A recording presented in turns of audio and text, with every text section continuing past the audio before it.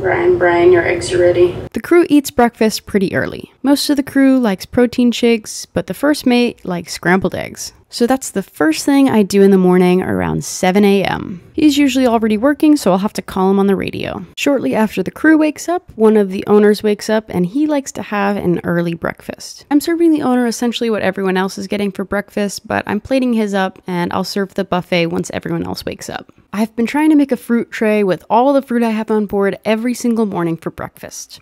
This morning, I have a whole pineapple that I want to use as a vessel. In addition to the fruit tray, I'm making a bagel and lox platter. I'll core and slice up some tomatoes, lemon wedges, and red onion. If I had to pick a breakfast to eat for the rest of my life, this would be it. After I cleaned up the galley from breakfast, I made myself a plate, and right back into the galley again to make another mess. Bye, little chef.